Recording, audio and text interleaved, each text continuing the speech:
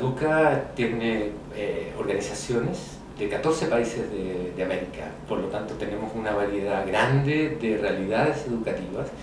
y eso es una ventaja y una dificultad a la vez para plantear políticas, ¿no? pero es una ventaja principalmente porque tenemos una mirada eh, amplia de, los temas que tratan en la educación eh, y de los temas urgentes que tiene la educación. Y como conjunto hemos, eh, hemos identificado tres temas que para todos los países son claves. El tema de los docentes como ah, actores claves en el mejoramiento de la educación, el tema de la educación en la primera infancia como una etapa donde se deciden eh, cosas que, eh, que, finalmente repercuten en la vida entera de las personas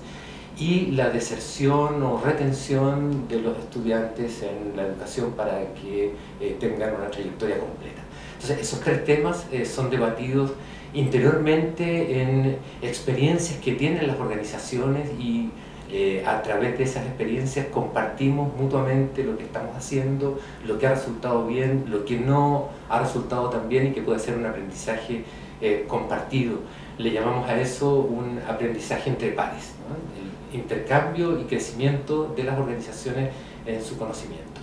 También nosotros estamos trabajando en una línea estratégica que es eh, incidir en las políticas públicas, tanto las que se deciden a nivel regional, eh, participando en los foros donde se debaten políticas educativas, foros internacionales, eh, de la OEA, de la Organización de Estados Iberoamericanos por Educación, en fin, estamos presentes en esos debates y ahí ponemos nuestros conocimientos y nuestras eh, propuestas a nivel internacional. Pero también apoyamos que en cada país las organizaciones incidan en su país según lo que cada una decide hacer. Ahí no intervenimos como red en otro país porque no nos corresponde, pero sí dando apoyo a la organización de ese país que quiere hacer alguna intervención de propuesta pública eh, en políticas educativas. Y finalmente eh, tenemos una línea de eh, información a la ciudadanía.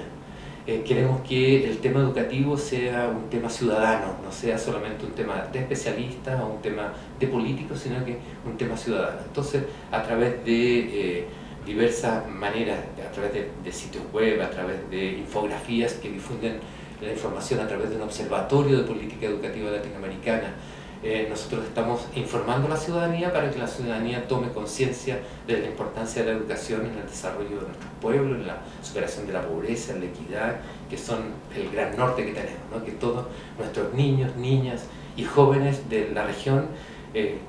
puedan ejercer el derecho a, a una educación de calidad y para toda la vida.